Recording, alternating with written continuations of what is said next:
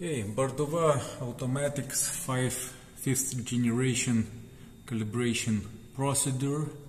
Uh, it's the same for RB150 and is B200.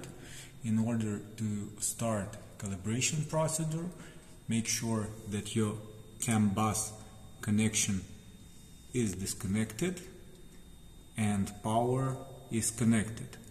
On the first step, the door must remain closed. What you need?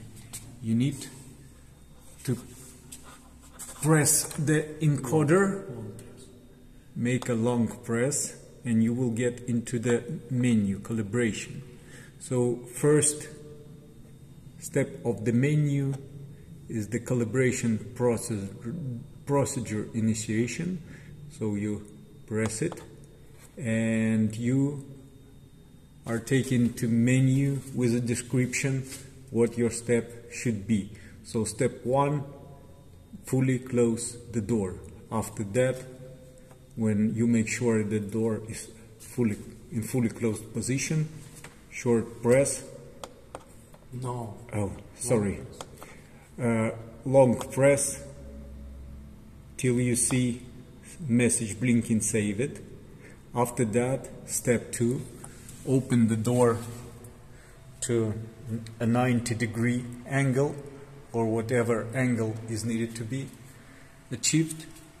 When the door is open, long press again, save it, and then long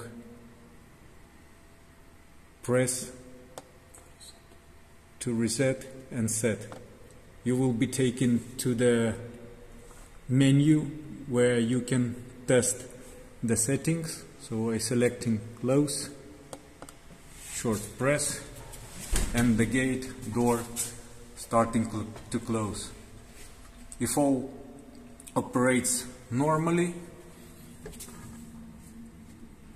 just go to return, press return, and reconnect the CAN bus connection.